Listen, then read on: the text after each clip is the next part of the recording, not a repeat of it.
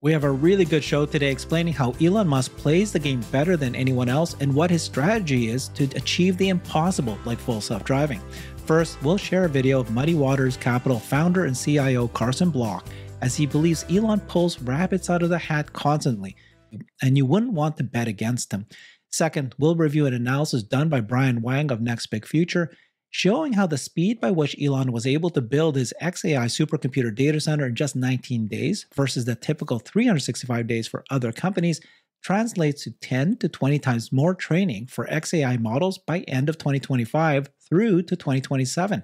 XAI will be done before OpenAI and Meta even reach the starting line for training. This superhuman ability, as Jensen Huang has called Elon, also applies to Tesla Finally, we'll show you the latest vehicle safety report for Q3 that Tesla just dropped. Drivers on Tesla Autopilot are more than 10 times safer than average drivers not using the technology. Once you see this and we explain everything here, you'll see exactly what Tesla's strategy is and the advantages. We've got Hans Nelson joining us. He's the perfect person today. He's got the uh, kind of knowledge of how AI and Tesla's uh, approaches. Thank you so much, Hans. Thanks for having me, Herbert.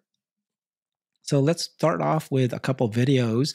We'll do this one first with um, this guy named Carson Block. He is the CIO and co-founder of Muddy Waters Capital. But uh, he explains kind of like initially he was a bear on Tesla, he turned into a bull, and then he's basically kind of explaining how you know Elon plays the game better than everyone else, pulls rabbits out of the hat. Let's watch what he says. This perfect balance between BSing and delivering. Okay. I mean, the cars drive, the rockets fly, um, the satellites work. He does these incredible things. Does he routinely overpromise? I mean, say things that it's hard to imagine he can say with a straight face? Yes, he does. But does that matter? Apparently not. Um, so yeah, nobody's played the game better than he has. It's it is a volatile stock, um, but you know it continues to get flows. Going back to what I said earlier, um, and mm. will continue to get flows. And I think what was really what everybody on the bear side missed about it. You know, the arguments were, oh, Tesla doesn't have the scale; it can't compete with Toyota, Volkswagen, blah blah blah. Um, and that's true. They didn't have the the the sales base scale or the manufacturing scale. But what all of the bears missed, and was what my epiphany really was in 21, was that Elon understood that the base that he, the scale he needed to have was capital base. And so when he was mm. able to yoke that stock price way up and have this enormous market cap, I mean, even, you know, even if uh, the company's bleeding billions of dollars and the stock is sinking, there's so much market cap that he continue can continue to raise money and Tesla's not going bankrupt in the you know for a very long time. And that's what the Bears missed because the Bears were hung up on this, oh, it bleeds money, it's going to go bankrupt. Um, right. And and look, I was in that camp for a number of years, but um, but no, he Elon pulls rabbits out of the hat constantly. Look, it's it's one thing to bet on him or bet on Tesla, but I just I just won't bet against Elon. Um, I did in a minor way several years ago. We had long day, mm. we had crash puts on Tesla uh, that almost hit and paid off, but no, it's just you can't bet against the guy. Mm-hmm. Uh, we'll explain why that matters more uh, shortly. But uh, what do you think of his, uh, his his comments? Pretty good. One of the things that actually made me reflect on that is interesting is Elon's, you know, pivot recently away from volume on the vehicles and, and, growing those as fast as possible and really doubling down on just the importance of AI overall.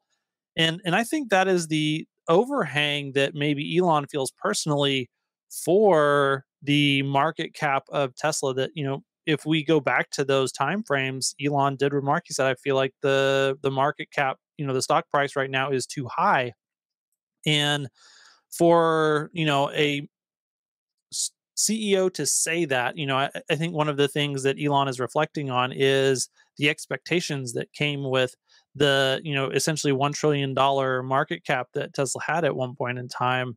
Um, that just the auto business alone, without the autonomy piece, it was pretty hard to justify a reasonable return on capital out into 2030 on just the delivery of you know 20 million vehicles.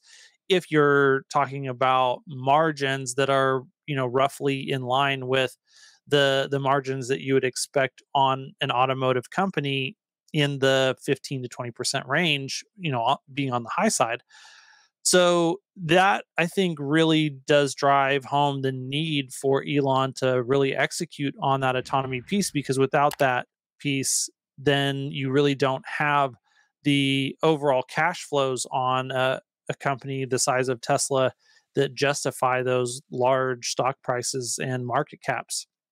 And so that is is one thing that um, you know I was thinking about, and that plays into some of the other points that we'll be talking about today as well.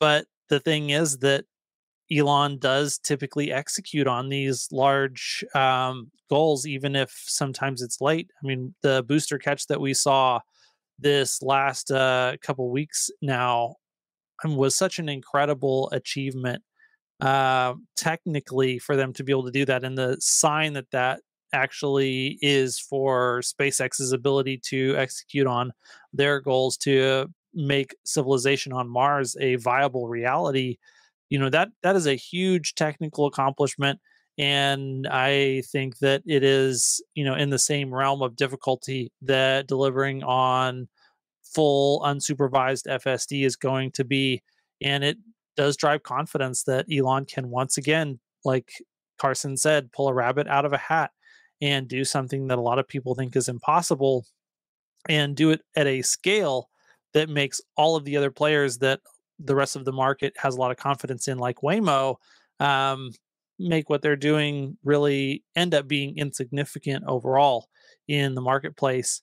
And that is what Tesla retail investors are are betting on. Um, and Elon has an incredible track record over the long run of being able to deliver on these crazy moonshot ideas, even when they're late. And that patience, you know, going back to uh, the famous Warren Buffett quote, the stock market is a mechanism that transfers wealth from the impatient to the patient. And I think that's especially true in Elon Musk's case. The people who have held Tesla since, you know, the 2010s, the 2012 era have seen incredible returns on their portfolios.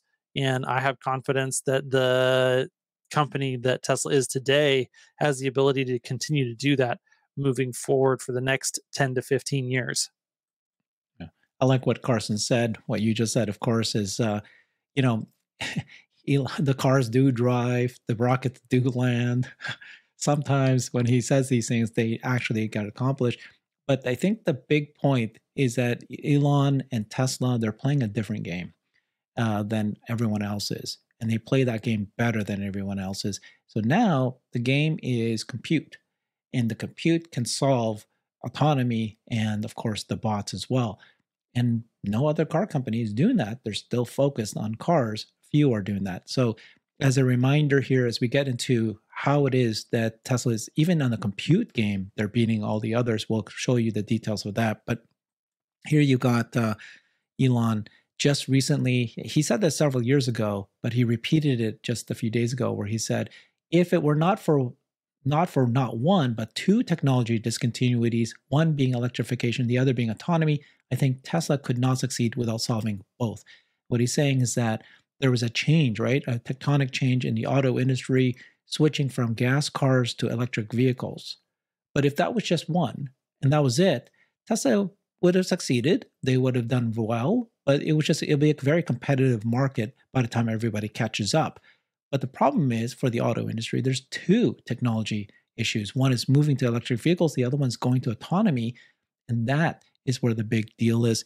Let's listen into what he said here. That is a hard problem, I have to say. Um, in fact, if it were not for not just one but two technology discontinuities, uh, one being uh, electrification and the other being autonomy, I think Tesla could not succeed without solving both, not just one, but both. Okay. Um, so let's. Did you want to comment on that? Yeah, I mean that that is playing into the the point that I made earlier about Elon really feeling the weight and the gravity of having to solve the autonomy piece um, not only from a market cap perspective but also for a transition to renewable energy economy overall in transportation that you know if for some reason it was only gas cars that were autonomous um, that would actually make it much more difficult for electric vehicles than to be competitive and for our transition to a renewable energy economy to be successful. Um, and so, you know, we have to make the transition to EVs and we have to make the transition to autonomy in order for EVs to really be the answer to transportation, you know, 10 years from now, 15 years from now, 20 years from now um, and, and, all of those things are necessary for tesla to succeed and for tesla investors to succeed you know uh, also on the back of that so um, yeah. yeah. very important very important and then uh, so the whole game now is tesla needs to become a computing giant and to be able to solve autonomy and so that's why we're going to talk first about xai and what xai is doing tesla uh, elon's other company but when you see what he is able to do for that data center, you can then see what he's doing for Tesla's Cortex, which is Tesla's own data center. So there's uh, Brian Wang. He's um, next big future. I've had him on this channel several times before. He does great research. He shared this, right? So we heard Jensen Huang uh, of NVIDIA, and I'll play this clip where he said that it only took uh, Tesla, XAI, sorry, XAI, Elon, 19 days to build their data center, where it typically takes a company 365 days to do this. But when you translate this out and you you know kind of forecast this out, it will translate to 10 to 20 times more training for XAI models by the end of 2025 and all the way to 2027. Basically, other companies, because they're so fast in launching their data center, by the time the other companies even start, XAI is already well on the way of growing and buying more. He shares a number of tables. Uh, do you want to explain what this table is about? Yeah, so what Brian has done here, or at least my interpretation of it, is that he has used a combination of the the capacity that a training cluster has in, you know, basically overall H100 equivalents, um, and then multiplied that by the training time they've done. And so he's using the the column there that says chip years basically as a way to measure the cumulative amount of training that the three biggest AI competitors in the LLM space are going to be able to accomplish. Um, so those being Meta with their Llama models, OpenAI with their GPT models, and then now XAI with their Grok models. And so, yeah, the that cumulative number of chip years is essentially what the cumulative number or like amount of training that OpenAI has done. And currently, OpenAI is kind of in the lead on this. Meta is rapidly, you know, catching up to them in the amount of chip years that they have trained uh, with their models. Um, but what we're looking at here is the rapid uh, acceleration of training that XAI has done, and overall, the this is leading to a trend where XAI is going to pass all the other mm-hmm. major LLM competitors in the cumulative amount of training that is done, and then if if success is a function of cumulative training accomplished, then it's really hard to imagine a world in which XAI is not the like hands down dominant player in the marketplace from uh, an LLM AI standpoint. Yeah. So you can see we'll, here that yeah, let's yeah. move to the next one here in just a sure. second. But uh, by by December 2024, here by December 24, the end of this year, XAI is already going to be 33,000 years of accumulation it's going to be already equivalent to Llama and more than uh, than where um, probably around the same as where GPT OpenAI is. is. Yep. OpenAI is. But if you then carry that forward, by the time we're at 2026, uh, Grok will be at 16 million years compared to these guys at 400,000 by 2026. So the uh, 4 million, I mean. So the, the, it's like just crazy how um, they'll never be able to catch up, is what Brian is saying. So he said this Jensen Huang, the CEO of NVIDIA, described how XAI built a 100,000 NVIDIA H100 GPU AI cluster in 19 days. Other customers need a year, 365 days, or about 20 times as long, to install the same size AI cluster. Jensen called the XAI achievement superhuman. The customers of NVIDIA GPUs have to work with NVIDIA hardware, software, data center, network engineering teams. The customers have to work with NVIDIA for the project plans and timelines. This advantage will be capitalized by XAI in the 2025-26 timeframe for a 10 to 20 times advantage in training AI. And then he describes the procurement in NVIDIA B200s is happening now, and they will be installed and ready to start training by the different companies. XAI will have its first B200 GPU LLM installed, trained, and released before OpenAI and Meta have finished installing their B200s. XAI will be done before OpenAI and Meta reach the starting line for training XAI can triple or quadruple their training time, increase the overall training, and still beat the others to market. Before we get to this table, I'm going to play this clip from Jensen. The um, uh, first, first of all, uh, acknowledgement of, of achievement uh, where it's deserved. From the moment of concept to um, a data, data center that's ready for NVIDIA to have our gear gear there, to the moment that we uh, uh, powered it on, had it all hooked up, and it did its first training. Yeah. Okay. Correct. So uh, th- that first part, just building a massive factory, um, liquid cooled, mm-hmm. uh, energized, permitted, uh, in the short time that was done. I mean, that is that is like superhuman. Right. Yeah. There's and and as far as as far as I know, there's only one person in the world who could do that. Right. You know, I mean, Elon is singular in this understanding of engineering and and construction and large systems and um, and and and marshaling resources. Um, Incredible. Yeah, just it, it's unbelievable. And and then and of course then his engineering team is extraordinary. I mean, the, the, the software team's great, the networking team's great, the infrastructure team is great. You know, Elon understands this deeply. And from the moment that we decided to get to go, um, the planning of uh, with our engineering team, our networking team, our, our infrastructure computing team, the software team, all of the preparation in advance, mm-hmm. um, then the, all of the infrastructure, all of the logistics and the amount of technology and equipment that came in on that day, yeah. NVIDIA, NVIDIA's infrastructure and, and, computing infrastructure and all that technology, to training, 19 days. you just, you, you know what? You don't want. Did 19, anybody sleep? 24 seven. No, no question. Then nobody slept. But, but first of all, yeah, some 19 days is incredible. Mm-hmm.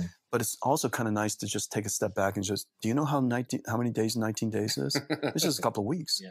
Right. And and the mountain of technology, if you were to see it, is unbelievable. All of the wiring and the networking and you know, networking NVIDIA gear is very different than networking hyperscale data centers. Mm-hmm. Okay. The number of wires that goes in one node, uh, the back of a computer is all wires.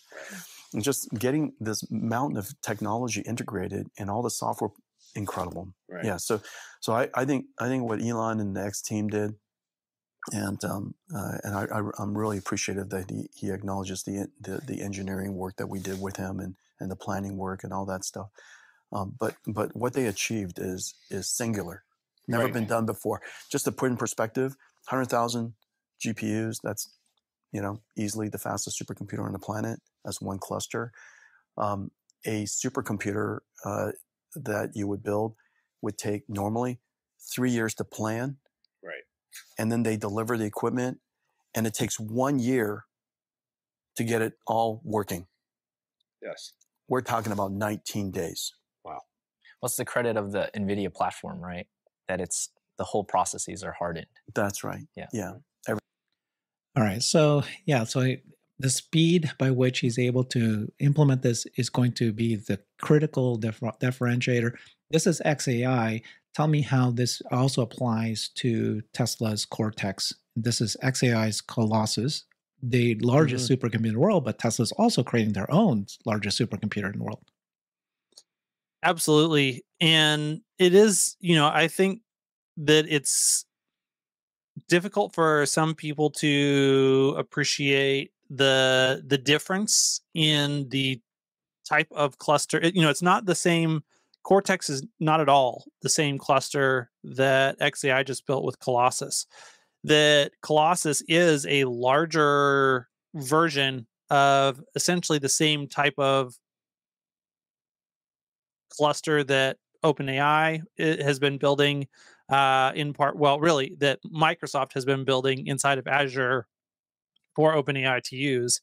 And then also that Meta has been building for their use with Llama, that the those clusters they're not going to be identical but they're going to be very very similar and a lot of the learnings from how those have been set up are going to apply to to xai and i mean elon's ability to like jensen just said um ability to compress the training or the the the planning phase he said that that could take two to three years with most other com- uh, customers of nvidia's they compress that down to a matter of months we're not exactly sure you know jensen didn't say specifically how long it was the, that they were working on that um, we do know that xai is a company that's only about a year old and so at maximum um, a year's worth of planning went into that. It's probably significantly less than that.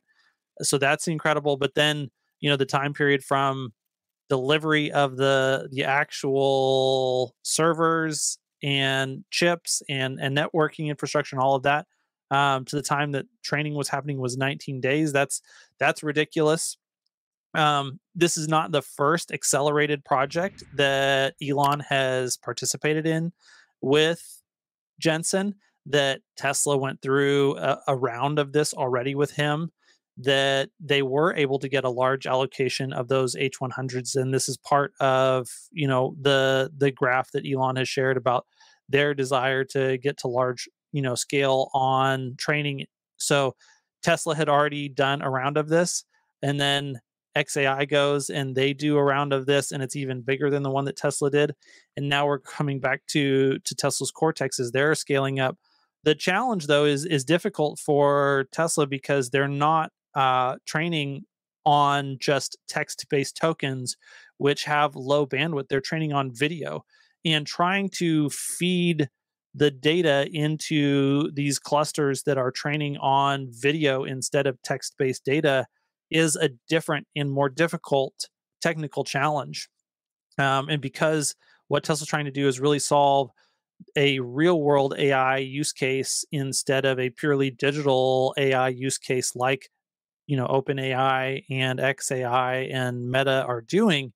Um, that that different application has different challenges, and so trying to keep large enough amounts of the data that you need close enough to the chips in order to feed them in a timely fashion so that they are actually being used at a high utilization rate um, that that's very difficult tesla is the only company in the world that is really trying to train on that much video data that quickly and so they're already the world leaders in this um, and whenever they are able to actually get cortex up and running you know they'll have another quantum leap forward in their leadership position in this AI video training space.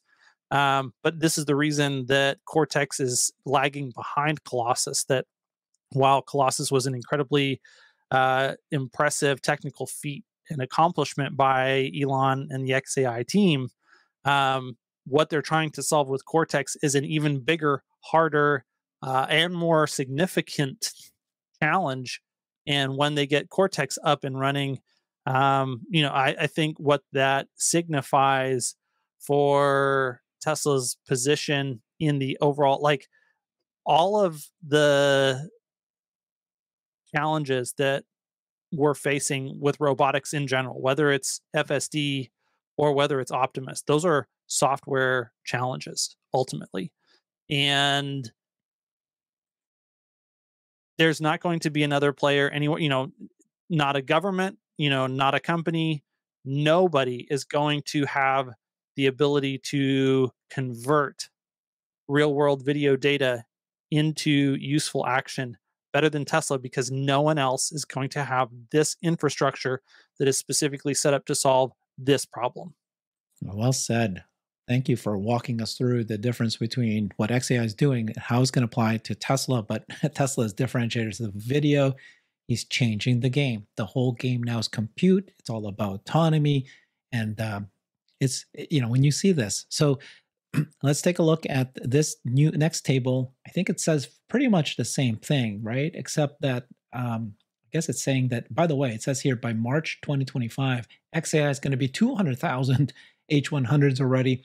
And uh, Elon already tweeted that out. He already posted that saying that if you were so shocked at how fast we got the 100,000, look how shocked you're going to be by the time we get to 200,000. Um, and it's already been delivered, right? May. So yeah, what's your uh, what's what's this table telling us? The yeah, the big takeaway from this table is now we're looking at it by date instead of having you know mm looking at one section for mm-hmm. the GPT models, one section for the LLM, uh, the Llama models by Meta, and then one section for the XAI models. Now it's all basically arranged in date of completion. And, and what you can mm-hmm. see there is that in December of 2024, XAI is scheduled to essentially catch up with Meta and that mm-hmm. after that point in time, neither Meta nor uh, mm-hmm. OpenAI with their GPT models ever catch up. will ever, yeah, be able to catch up with the amount of cumulative training that XAI is going to be doing. And just to put it into perspective, you know, if it takes and and Microsoft is going to have to accelerate. They're not going to be able to take a year to do something that XAI yeah. took 19 days to do. So they're they're going to accelerate, but uh, just using the numbers that we have to work with, 365 days to go from receiving your equipment to training mm-hmm. versus 19 days is it XAI is essentially 94% faster. That's 340 days this year yeah. that Tesla can train on video with the like this is the biggest single supercomputer cluster in the world, yeah. as Jensen said. And so they get 340 free days of training on the world's largest supercomputer cluster compared to like that's a lot of money and engineering resources and time that Microsoft is having to expend and that Meta is having to expend on just setting up the cluster without actually turning that on and yeah. getting benefit back out of it. And so the the AI ROI that XAI is right. achieving with, with right? Colossus, yeah. yeah is yeah. you know, like he says, the only more. thing that matters is pace of innovation. And right now, training is directly correlated to pace of innovation, and XAI is able to convert investment dollars into training days yeah. far better than any other player on the market. And that's, um, you know, as far as if LLMs can get us to AGI, XAI is really the only horse to like. We're we're talking about a level of domination in this space that yeah. people just do not appreciate and understand. You can see Sam Altman of OpenAI already panicking. Uh, he's already you can you can hear about it. Uh, rumors that he's already uh, pretty pissed off at Microsoft, very upset that this is happening. So, how does this translate to Tesla? You know, even without these compute, it, it, it, obviously we talked about XAI here, but you explained that it's also going to we're going to start hearing this also in a Tesla's Cortex.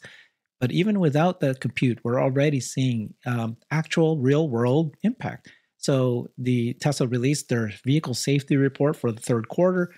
They recorded one crash for 7 million miles driven in which drivers were using autopilot technology but the people who uh, normal car drivers, it's one every 670,000 miles. So we're talking over 10 times safety if you use autopilot. If you compare just even te- people driving Teslas, though, it's already seven seven times safer than people who are not using autopilot but still driving Teslas. This is their report. You can see that there was a huge leap in Q1 of 2024. Kind of, you know, it's still going to be like variable here, but it's about the same as it was in uh, 2024 or Q1.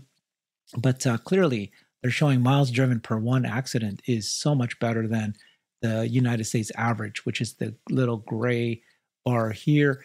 This is without these supercomputers computers yet, and this is just going to change. Uh, James Douma, well-known machine learning expert, said this: Tesla's ADAS uh, reduces accidents. If you have a Tesla, you should use the advanced driver assistance. If you don't have one, you should consider getting one and use the ADAS. Every single thing about auto accidents is terrible. We now have the technology to reduce accidents dramatically. Um, he likes to post this, which is a, uh, another way to track to see how well this Tesla on autopilot is uh, improving. You can see that if you're a human driver, it's pretty well flat.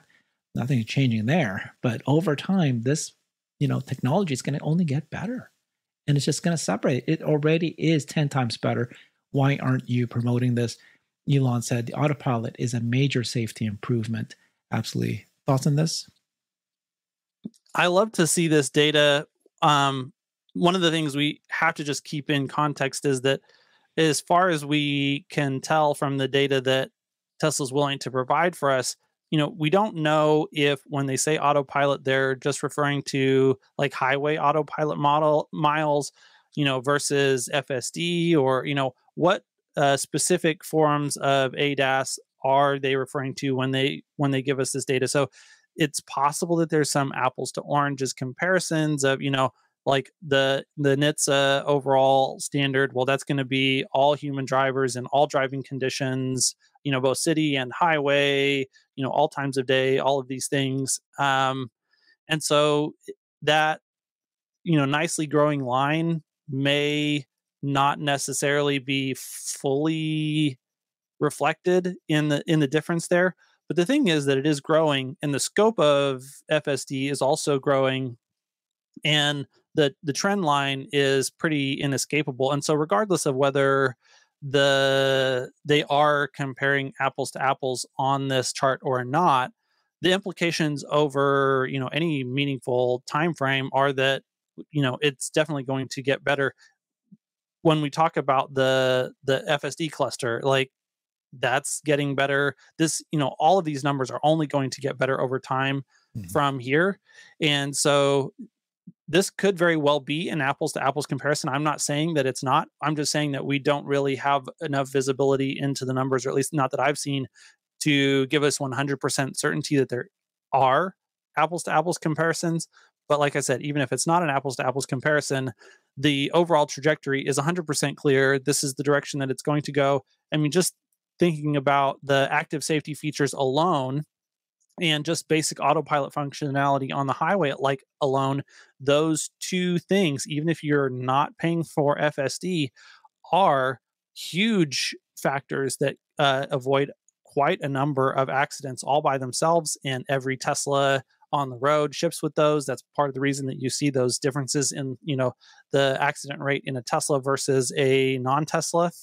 And the human driven you know portion that would be an apples to apples comparison and so they're already safer just in that and then yeah if you have more advanced features um, it only gets better from there. Yep. Okay just to wrap it up here remember how we started. There's two different uh, big games being played here. One is switching to autonomy. Very few of the other auto companies are able to make this move. Here's an example. Lucid CEO just said this full urban autonomy won't arrive until 2030s. This is uh, Lucid CEO Peter Rawlinson. And he said that uh, you know the, the you know they, that uh, we've got the best car in the world from a mechanical standpoint, and for most of it, most of its underlying software. That's of course he's been boasting about this for so long.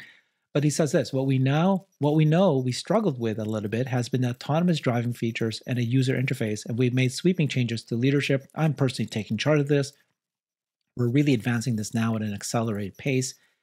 And then the complexities, he said, people are significantly underestimating how hard it is to reach full autonomy in urban scenarios, significantly underestimating.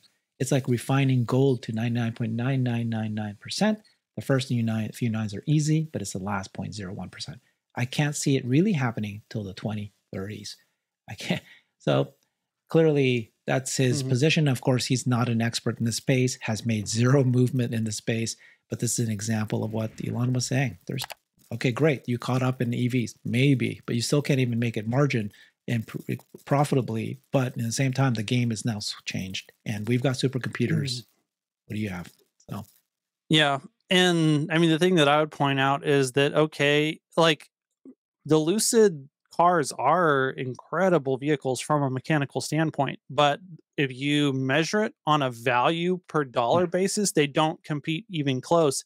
And his unwillingness to make a vehicle that, like, there's just no path to profitability and it's it's an unsustainable unviable business so how do you plan to fund like if you think it's hard to accomplish that autonomy goal that you've set for yourself how are you going to do that when you don't have cash to invest? And the business model that they're trying to work on top of in order to accomplish that has no chance of providing the cash that's necessary to make the investments to solve that problem. And so uh, you know i disagree that it's going to be in the 2030s i think that you know peter rawlinson isn't even a fraction of the ceo that elon is and he thinks he's as smart or not smarter um, but like if, if you can't understand that you have to have a profitable company in order to be a successful company then like i'm sorry as an investor you have just been uh, nixed from the Yeah. possibility of receiving my investment dollars